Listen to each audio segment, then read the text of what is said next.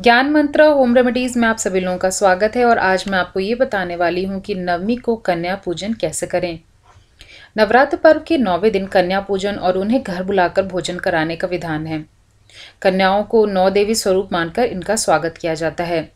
माना जाता है कि इन कन्याओं को देवियों की तरह आदर सत्कार और भोजन कराने से माँ दुर्गा प्रसन्न हो जाती हैं और अपने भक्तों को सुख समृद्धि का वरदान दे जाती हैं। इस बार नवमी का जो पर्व है, वह 25 मार्च 2018 को किया जाएगा। तो चलिए जानते हैं कन्या पूजन विधि के बारे में। जिन कन्याओं को आपको भोजन पर खाने के लिए बुलाना है, उन्हें एक दिन पहले ही न्योता दे दें। ध्यान रहे कि जो कन्याओं की उम्र है, वह दो से दस वर्ष तक ही होनी चाहिए और इनकी संख्या कम से कम नौ तो होनी ही चाहिए। यदि नौ से ज़्यादा कन्या भोजन पर आ रही हैं तो भी कोई आपत्ति नहीं है।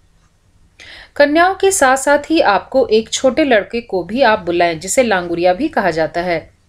उसके पश्चात सभी को घर में बुलाकर आरामदायक और स्वच्छ जगह बिठाकर इन सभी के पैरों को बारी बारी से, दूध से भरे हुए थाल या थाली में रखकर अपने हाथों से उनके पैर धोने चाहिए और पैर छूकर आशीष भी लेना चाहिए। उसके बाद पैरों पर अक्षत, फूल और कुमकुम लगाना चाहिए। फिर उनके माथे पे कुमकुम से तिलक लगाएँ और कलाई पर मौली बाँध। दें फिर माँ भगवती का ध्यान करके इन देवी रूपी कन्याओं को खीर, पूड़ी, हलवा, चने की सब्ज़ी आदि का भोजन कराएँ। भोजन के बाद कन्याओं को अपने सामर्थ्य के अनुसार दक्षिणा दें, उपहार दें और उनके पुनः पैर छूकर आशीष लें और उन्हें विदा करा दें। उनके प्रस्थान के बाद आप स्वयं भी प्रसाद खा लें।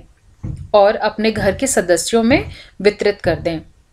तो ये थी जानकारी कि कैसे आप नवमी के दिन कन्या पूजन करेंगे। अभी के लिए बस इतना ही। अगर आपके कोई भी सुझाव या सवाल हैं तो हमें ज़रूर लिखें और हमारा channel Gyan Mantra home remedies subscribe और लाइक करना ना भूलें। धन्यवाद।